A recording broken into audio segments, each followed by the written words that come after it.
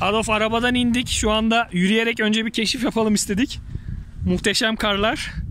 Ee, yarın buraya çocukları da getirmek lazım. Çocukları da belki getirebiliriz yarın. Abdullah bir su kontrolü yapıyor.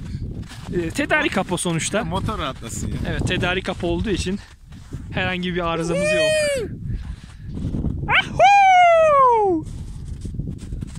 Evet karlar nerelere düşmüş diyorduk. Karlar buralara düşmüş.